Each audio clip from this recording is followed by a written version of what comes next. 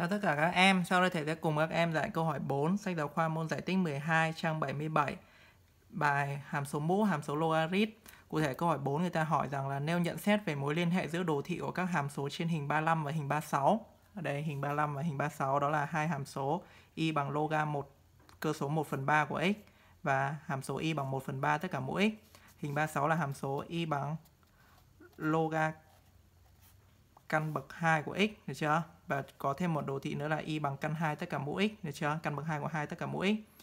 Thế thì ở đây có một cái nhận xét rất là rõ ràng này. Các em sẽ thấy là đồ thị của các hàm số y bằng a mũ x và y bằng loga cơ số a của x với a lớn hơn 0, a khác 1 đối xứng với nhau qua đường thẳng y bằng x. Các em cũng nhìn thấy trên hình là hai cái đồ thị này nó đối xứng với nhau qua đường y y bằng x đúng không các em? Nên chúng ta kết luận đó là đồ thị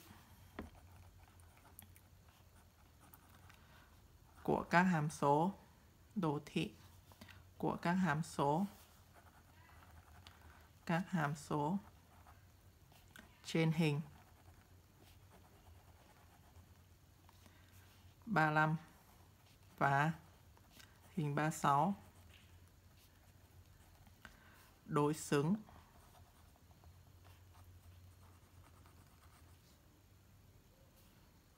Với nhau. Qua đường. Qua đường thẳng.